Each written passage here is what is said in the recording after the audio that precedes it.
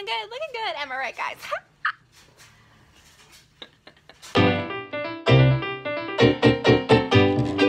And her brother came up to Abby and was like, Can you do a snowman? And Abby was like, Yeah, sure. Abby, show okay." Dad the picture. and pulled up this elaborate picture of a snowman. And she was like, Do you want this? And he was like, Yes, please. That's the expectation. I'm finished. Do you want to see? And he was like, Yeah. And Abby took a picture. First the snowman's mouth had like two dots in a line. It's like, The scarf was like in a like blue blob, and he literally. wait, wait. And he had a white, he had a white circle cloud, like, what even, it was like a white circle off the side of his head.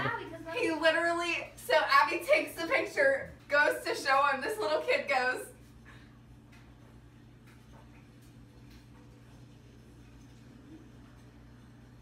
And got up and walked That's away. my No, no. Back to sit with his mom, and his mom got the camera, and she was like, "Oh, cool." He said, "Please don't." and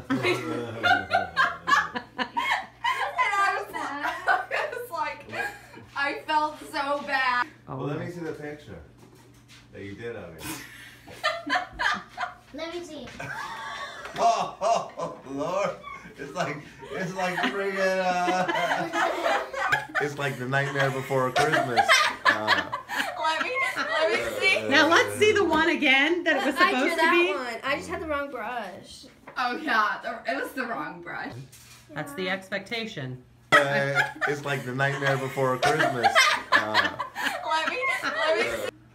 But this I felt so sadly bad. was the result. His mom went to take the picture. He said, "Please no." I was like, "Oh my gosh," it was not good.